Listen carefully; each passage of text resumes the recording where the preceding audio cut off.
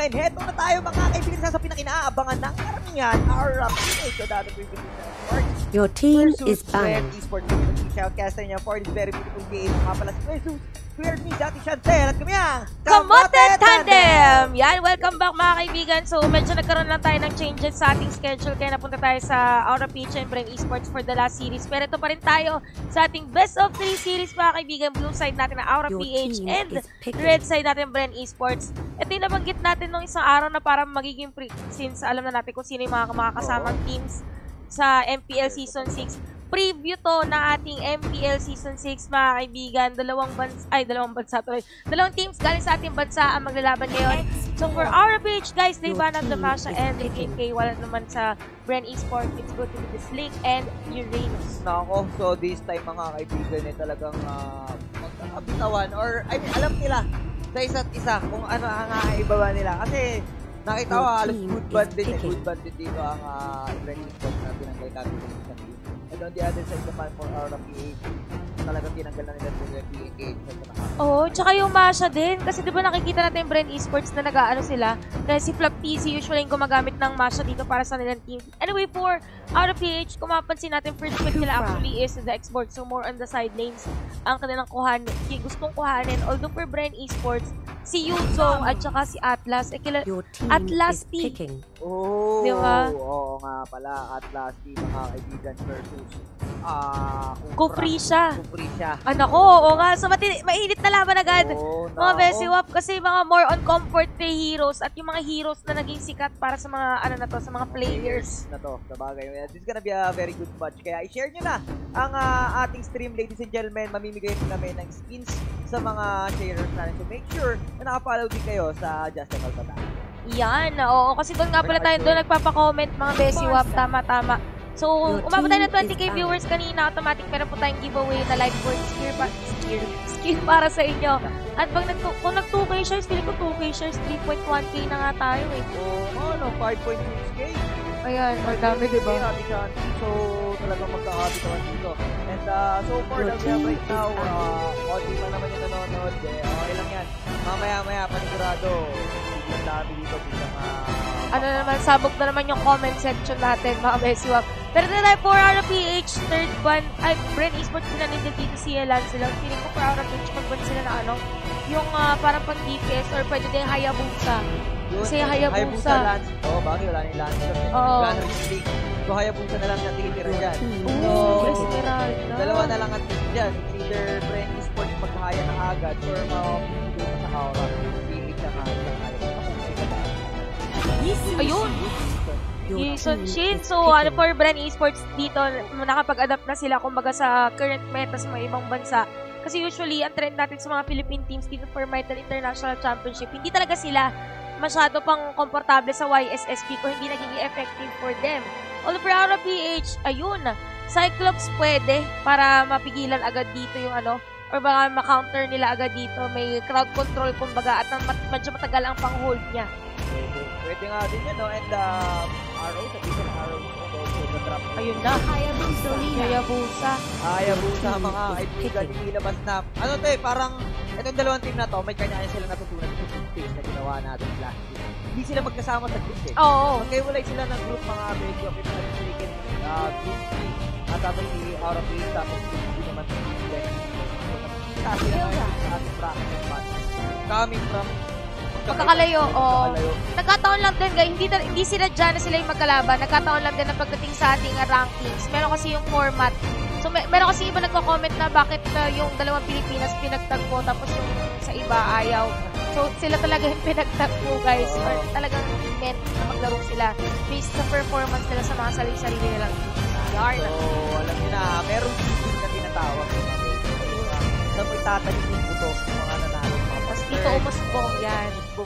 Sa playoffs, ladies and gentlemen. So, this time, ito na, kompleto na ang Yun, no? ah, draft pick or I mean, ang hero pool nitong dalawang to. So, for this, ha, parehas din. Kitang-kita mo sa, play, sa draft, sa hero composition nila dito na na magkaiba sila na playstyle na gagawin. Oo, oo, pero yung mga nabanggit natin kanina, nabanggit natin si Atlas at si Kufra yan. Philippines number 1 Atlas at ah, Philippines number 9 Kufra. Pero na tayo, ladies and gents, sa ating game number 1. Aura PH versus Bren Esports. Pangalaman muna natin yan on to our red side ng Bren Esports.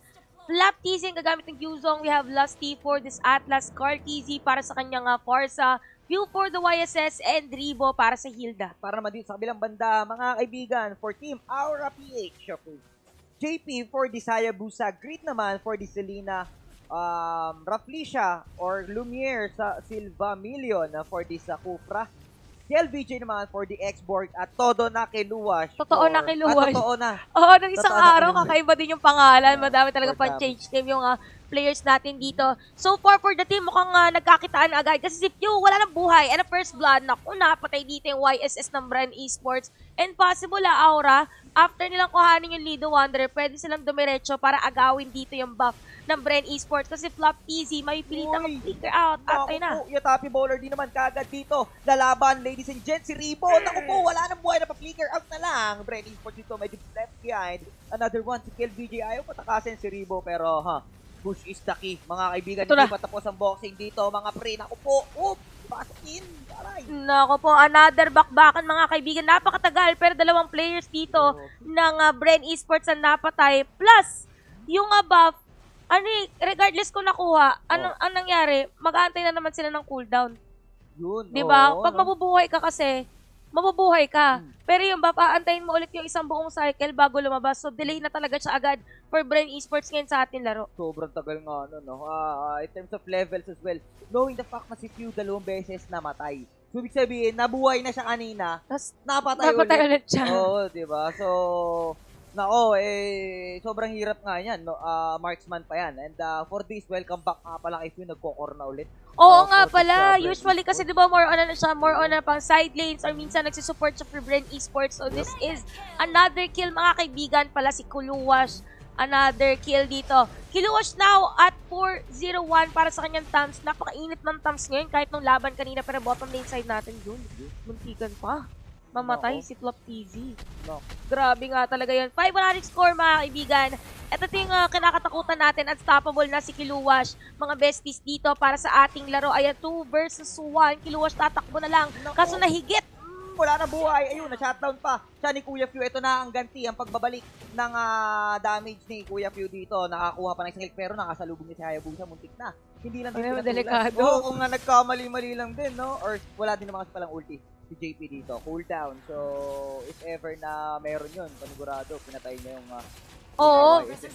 Low na YSS. Medyo malambot lang din naman for uh, Bread Esports. But then again, for this one, uh, Aura PH, napakataas ng uh, gold lead nila dito knowing na 3 minutes pa lang sa ating laro. Actually, nakita natin na ano pa dito. Level 6 na si JP, mga Besiwap, as compared to Pew, na still at level 5. Tama. Gap is real. Gap is real nga to, no? Napakaganda ng ah, performance ngayon so far ng PH. They have uh, um, like 2K gold bid dito or uh, 1, 1.1 or 2K na nga, sakto. 2K gold bid na rin din. Pero to, nice setup here coming from Lasty. Ako po, turtle has been taken by Farsa. Pero lalaban pa lang din. JP, wala nang buhay. Pero pag shadow kill, this is Ayun na. squad. Shadow lang din, nalilito na. Pero yun na nga lang, nakakuha ng kill is Kuya Ribo. Another one, si Linas been taken down for the third time. Flap in. Gusto pa dito, damage kill, BJ. No? Ay, ay, ay, nako. Secure kill para kay Flap TC doon mga kaibigan. Pero yung pala, si Toon na kiluwas, may laban na sarili dito sa may buff side. Pumasok si Raflisha, ang top 9 Cupra natin nakapatay. Pero commend natin yung ginawa kanina Bren Esports. Oo.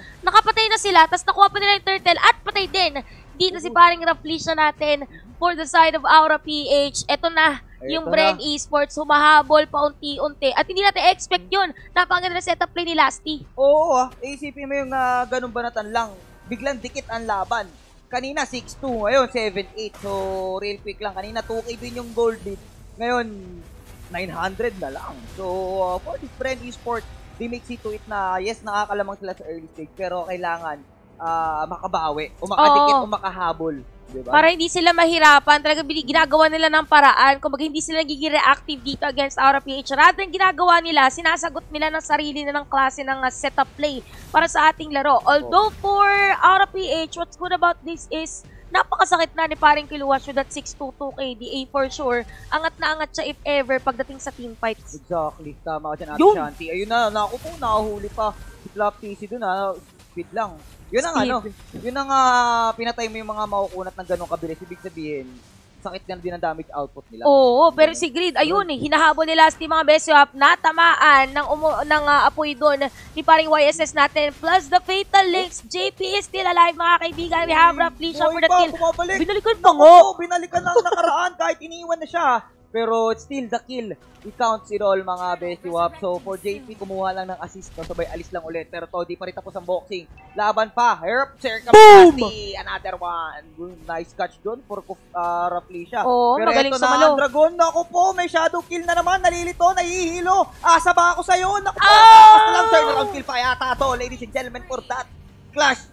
Ayoko na sa bottom lane. Oo. Hindi na tinantanan yung bottom Hindi lane mga tinantanan. best swap. And uh, comment natin doon si uh, Kufra. Talagang hindi niya iniwan yung Oo, Hayabusa. And even for JP, talagang hindi siya maalis knowing na nakikilling spree nga pala ng tropa nating Hayabusa. Kaya pala, pumapatay lang din siya na pumapatay dahil niya na may babalik na buhay sa kanya. Pero na tayo, another turtle objective mga kaibigan. Buhay lahat from Bren Esports. Pero Aura PH, mukhang makakuha niya na secure dito ni uh, paring JP ng Aura PH. Exactly. At eto na, mga kaibigan. 6 minute game time pa lang tayo pero nakapuno, napakapunong-puno ng action itong dalawa to. Just to remind sa mga nanonood dyan, if ever na matalo dito kahit na sino for a 2-1 score man or a 2-0 score, laglag na sa ating Ay, tournament. grabe naman pala talaga yung Oo. pinag-ano natin Pinag- dito, pinaglalabanan. Hindi na katulad ng ating uh, system sa playoffs, lahat ng laban, kumbaga, magmamatter at ah, ang hirap bawiin. So, Oo. for uh, Brain Esports, hindi pala yung kadahilanan na kahit naman dito yung Aura PH, pinipilit nilang habulin. Pero ito na, Flap Teasy, dinawag ang Dragon, pero nandito, naka-ready pala si Cupra if ever. Oo. Grabe sumambot. Grabe, ah, galing din umilag ah. Lala, kaya pakalupit nga naman ito pagka nakasalubong mo yung dragon na yun. Eh, oops, doon sa post request from Cupra to Aura PH. Okay, so medyo may aayusin lang siguro sila dito for Aura PH. Pero sa dalawang ano natin, Aurahan lang, ah, Ah, aura. aurahan Pak lang. aura, ganon. Pero sa aura dito, ang init na nga pinapakita ng performance, pero hindi natin mapagkakaila yung damage naman ng Brent Esports. Kasi kanina, nung Oo. nag-clash yung nakahabol sila, nakabawi sila kahit nalamang na lamang yung ano, yung, uh, aura oh. PH. Dahil sa ginawang setup lane ni Lasty, napakalupit. Nakita Oo, mo, kakaiba. ano, Nagtaas ng kamay, oh. Parang si Eh, Thor. oh, Darna! Ay, Ah, Darna. Darna, Darna yan. Thor yung sinasabi ko, Darna yung sagot. Sabi, ding, ang bato. Tapos yun na talaga ang nangyari dito for uh, Bren Esports. Napaganda ng ginawa nilang yun. Pero tuloy-tuloy pa rin ang laban natin. Kung mapansin natin sa mapa, we have Aura PH. Actually, natisira na nila yung uh, bottom lane turret dito against Bren Esports. Yun. By the way, ah, sa mga nanonood dyan, sharing natin yung stream natin. We do have ah skin giveaways. Shoutout nga pala kay Dayan. And, ah, and, ah, Grabe ka nga dun. and, ala, nag, Shoutout din natin si, ano, si Mami Marian Quintos natin kay Ay, Kiluwash. Ayan.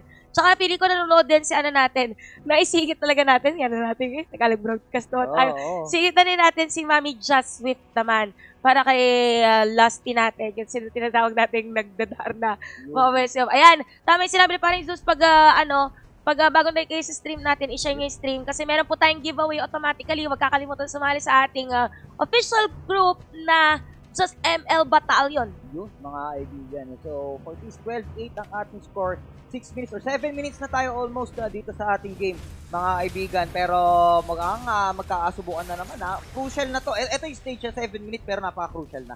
Oo, Kala mo nasa late game na tayo eh, no? pero lahat parang bibilangin na talaga. Oo. Grabe naman talaga si Lasty doon. Ayun, binalibag si Raplisha and he is down sa kamay dito ni paring Cartesi natin that is using the par sa tama naman yan. Pero grabe si Grid. Ano na to? Ah, si Grid talaga, ano niya, signature Selena na niya yan. Selena. Oo, si Lina Lord na to. Talagang ano, talagang hoy hoy, baloy. Pero yun, mega kill. There's an off-cam kill sa bottom lane ha. Hindi ko man napansin and that's gonna be Hayabusa versus that Atlas. Ito pa sa top lane lang naman. Ribo, ay naku po, kumuntik na kumuntik Mutikan na. Buti na lang sexy tong wrestler na to. Oo. pero, Parang dito medyo may slow pa yon. Talagang Oo. ni rampa. Kung nanonood kayo ng TikTok mo, uso yung ngayon yung mga slow rampa. Pero pinakitaan tayo ng Hilda. Makakatakas doon against the two players of Aura PH. 13 na nating score, mga kaibigan. So, kita natin yung zoning out na ginagawa dito ng Aura. Talagang nandun nakapwesto yung Thompson even the Selena para if ever na may magagaling sa likod, yun ang kanilang huhulihin. Ayun, natamaan si JP plus the Fatal Links, mga kaibigan. Shallow kill para sa kanya, plus the Quad Shadow out. Yun nga lang, hinabol dito. Here comes the uh, group free siya para sa kanyang backup and he is down mga kaibigan. Oh, ito na. Pero laban pa lang din naman si Grid dito. Naku po, turn around pa pala to. Flap TC with that sneaker out. 1 for 1 trade pa lang ang nangyari for that engagement. Pero naku, napakadaming sticks na ang binitaw laban dito. 3 against 1. Naku po, double kill na si Grid doon. Oy, oy, baloy. Ando dun sa Geddy lang pala. Oh, Shoot! Akala ko ma-shoot mga kaibigan pero kita natin dito hindi pa rin tapos ang laban kasi nahabol dito ni Pare Ribo si Grid. Ayun, nagilitan ng leeg. Galit na galit sa mason eh, no? Oo, the real warrior is here. Kumbaga, mga best swap. And that damage from this uh, Hilda napakalupit. At saka, itong pinakamaganda sa Hilda pick nila. Hindi na kailangan umuwi ng base para mag-reject. Oo, magda- literal na magdadamo lang. Magdadamo mga lang, kaibigan, tas ready na.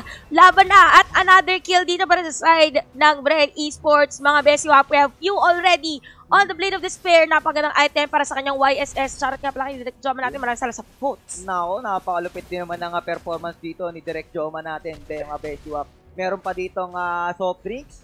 At saka, ano yan? Ihaw-ihaw. Ihaw-ihaw, Ayan, Kain na yan. yung mga nanonood dyan. Basta, basta syempre pag kami napapanood nyo, alam nyo na, Just ML and Chill. Kaya nga medyo low pa yung mga sounds natin kanina kasi Oo. chill na chill tayo dito sa Just ML. Nanood ka namin, pre-skin ka pa. Pero na, makmaka na naman natin.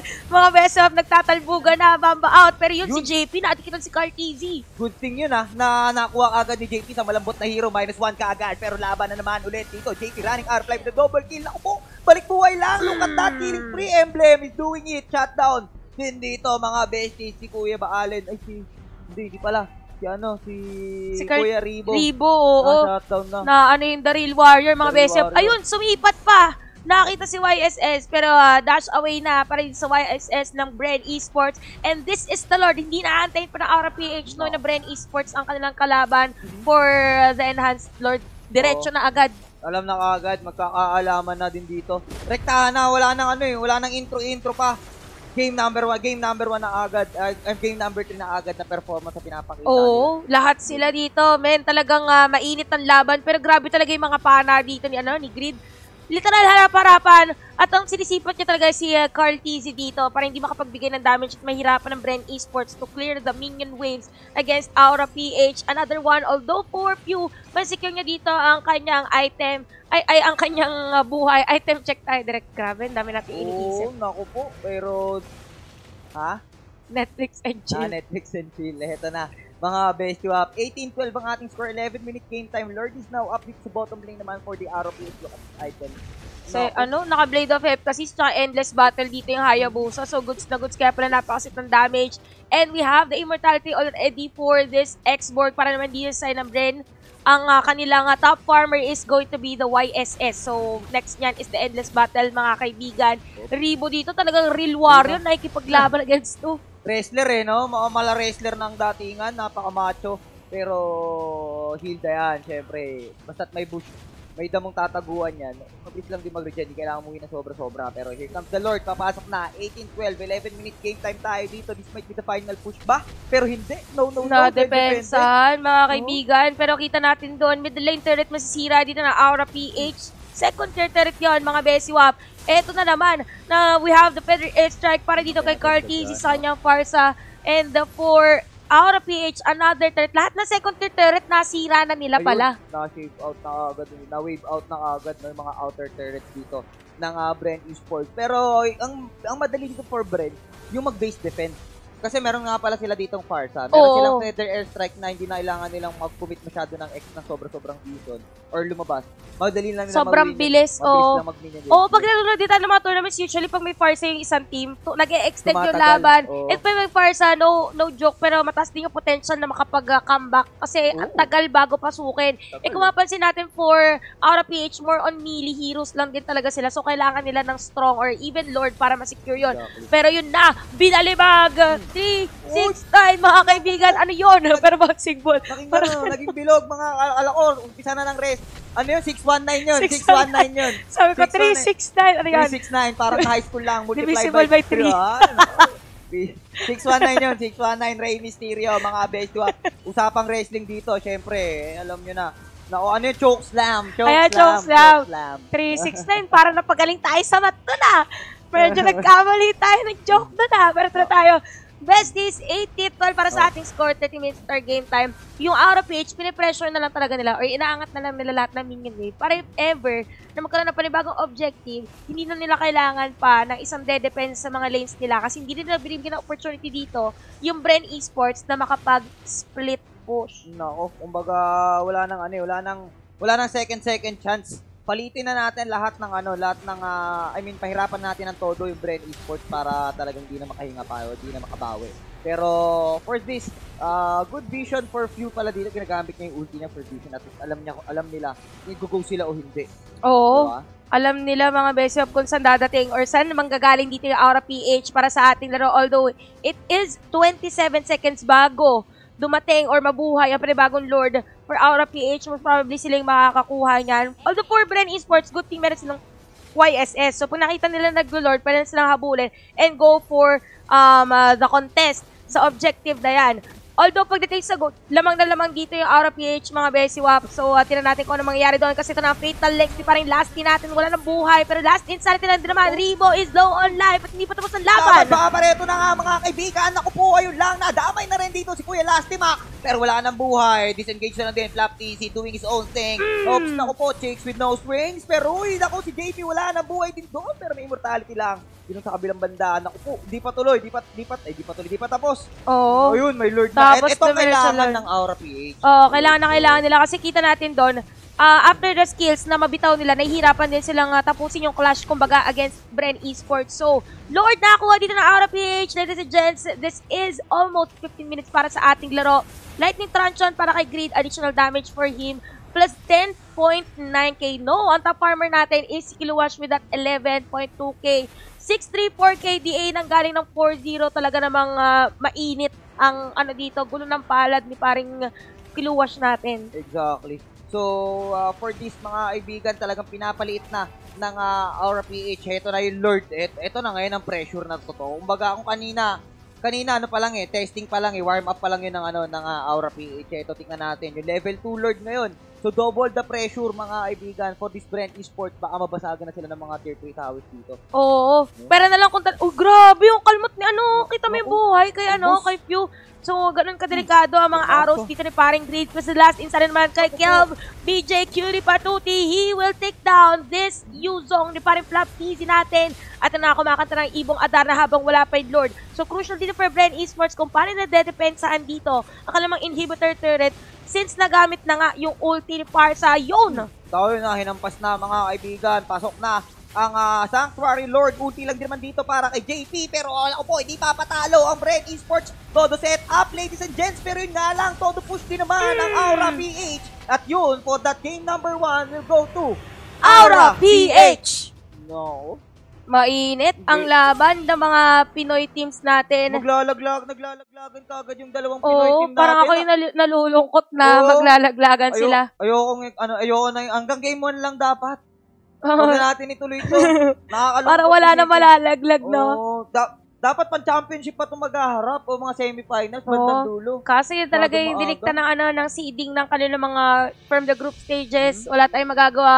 Ladies and gents, but for that one, si JP ang ating MVP para sa laro yun. Napaganda performance uh, for Aura PH at comment din natin si ano si Kufrisha.